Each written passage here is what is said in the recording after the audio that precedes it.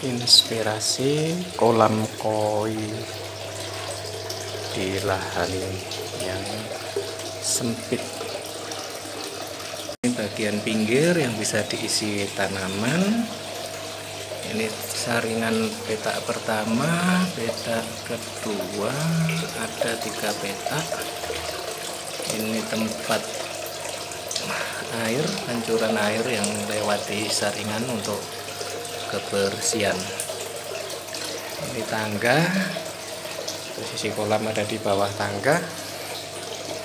Juga dikasih jembatan yang menghubungkan kolam dengan teras dan tempat untuk cuci baju.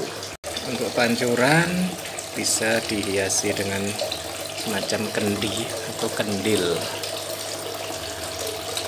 diambilkan airnya dari tiga petak penyaringan air. Tempat untuk pompanya di sini dan itu untuk gelembung udaranya. Ini gelembung udaranya dari sini. Sisi sebelah tembok juga dipenuhi tanaman. Semoga menginspirasi